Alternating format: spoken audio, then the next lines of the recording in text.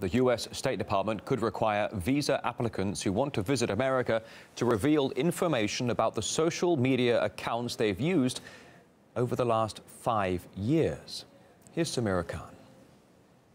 Well, if you're looking to apply for a U.S. visa, you might need to clean up your social media posts or risk getting rejected. Uh, visa applicants could be asked to turn over their social media history as part of Trump's new extreme vetting policies. Now, if it does pass, applicants will be forced to disclose five years of their social media history, and then the information will be used to apparently vet and identify them.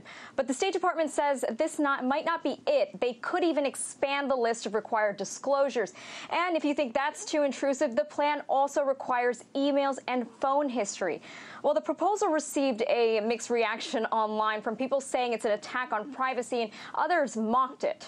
As if having to have a visa and passport to travel the world is bad enough, how they want to base it on your social media activity.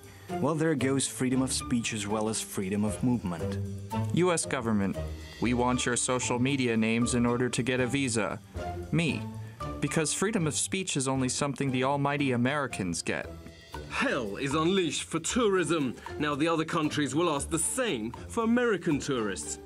Can't wait to print out every single one of my 6,754 tweets, one per page, and hand them to immigration. The plan could potentially affect about 14.7 million people every year. Uh, similar policies in the past only applied to people that pose a serious security risk, and these new plans are supposedly part of Trump's larger counterterrorism policy. Now, some even joke that if other countries had similar laws in place, Trump's inflammatory tweeting could have gotten himself banned from traveling abroad. Political activist Christian Mancera says the State Department's proposal should only have limited applicability this uh, new idea by Trump uh, may work in terms of like going after people that the American embassies in the local uh, countries know are either terrorists or have uh, you know ties to organized crime or to uh, narcotics uh, trafficking. This would probably serve a good purpose, but the embassies would have to have special personnel that would have to check these social media sites because this would take forever. So I think this is something that must be considered because I don't believe that going after social media, the private lives of citizens that in most part are very good people, would serve the purpose of limiting uh, the uh, incoming immigrants that come into the U.S. Now, in terms of vetting and making sure that the right people come into the United States, there are other measures that could be taken, but not going after social media because this will definitely have a very, very damaging uh, effect not only on tourism but also on social media outlets that promote freedom of speech and the ability of people to share their lives with their loved ones and friends. First of all, it attacks privacy, it attacks the freedom of speech. Of movement. U.S. government, we want your social media names in order to get a visa. Me, because freedom of speech is only something the almighty Americans get.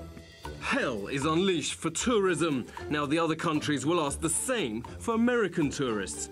Can't wait to print out every single one of my 6,754 tweets, one per page, and hand them to immigration.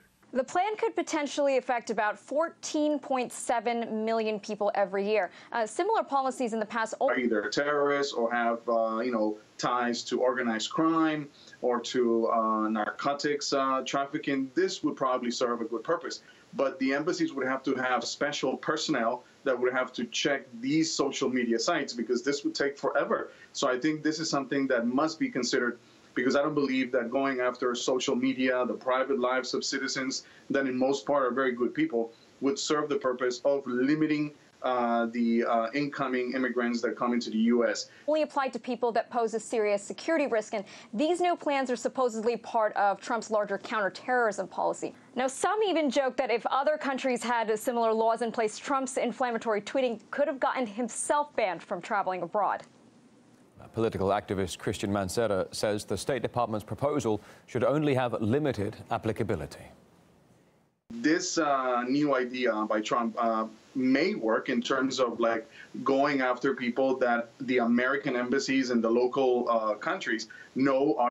The U.S. State Department could require visa applicants who want to visit America to reveal information about the social media accounts they've used over the last five years. Here's Samira Khan. Well, if you're looking to apply for a U.S. visa, you might need to clean up your social media posts or risk getting rejected. Uh, visa applicants could be asked to turn over their social media history as part of Trump's new extreme vetting policies. Now, if it does pass, applicants will be forced to disclose five years of their social media history, and then the information will be used to apparently vet and identify them. But the State Department says this not, might not be it. They could even expand the list of required disclosures. And if you that's too intrusive, the plan also requires emails and phone history. Well, the proposal received a mixed reaction online from people saying it's an attack on privacy, and others mocked it. As if having to have a visa and passport to travel the world is bad enough, how they want to base it on your social media activity. Well, there goes freedom of speech as well as freedom.